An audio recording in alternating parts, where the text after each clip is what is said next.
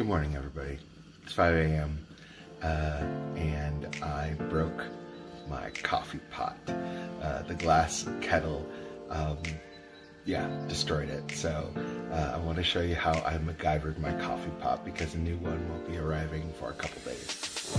So first thing, had to find something for the coffee to go in. This is a stainless steel canister that was previously used for um, utensils and I just stuck it in there.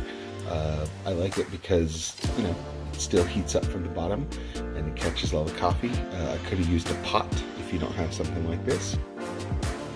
And then of course you have to bypass the automatic uh, shut-off system. When a normal coffee pot is in, uh, it's open to allow coffee to pull through, but you can pull the pot off while it's still brewing and uh, it shuts it down. So there's just a plunger down here at the bottom that uh, drops down and keeps the coffee from coming out when the pot is gone. So I just took a bamboo skewer, broke a piece off, and stuck it in there to hold that plunger up so the coffee will flow regardless if there's a pot in there or not so you can't uh, pull the pot out while it's still brewing. Now obviously I can't just uh, grab it so I have to do something a little like this to keep the hot coffee off my hands, but it still works.